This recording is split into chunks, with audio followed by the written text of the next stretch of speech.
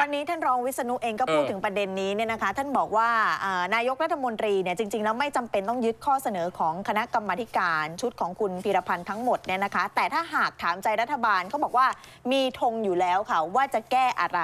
เพราะเมื่อบริหารงานมาตั้งแต่ปี 60 เขาพบปัญหาแล้ว และพักร่วมรัฐบาลก็เห็นปัญหาตรงกัน โดยเฉพาะอย่างยิ่งมาตรา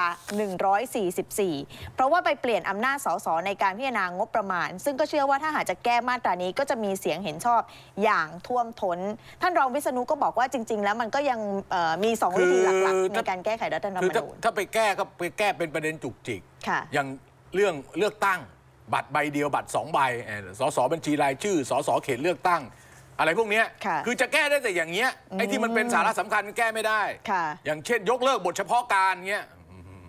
สวเขาไม่ยอม บางอย่างเนี่ยก็แก้ยากอยู่ใช่เหมือนกัน ใช่ใช่คือถ้าแก้ไปถ้าแก้ได้ ค่ะ มันก็ปลดล็อกทางการเมืองได้ระดับหนึ่ง ค่ะ ถ้าแก้ไม่ได้ยันกันไปยันกันมา มันก็อาจจะนำไปสู่การเปลี่ยนแปลงทางการเมืองที่มันรุนแรง เพราะมีค่ะ คนประท้วง หรือว่ามีการทำรัฐประหาร เพราะว่ามันตันอะไรอย่างเงี้ยผมบอกตรงว่าผม hopeless ค่ะ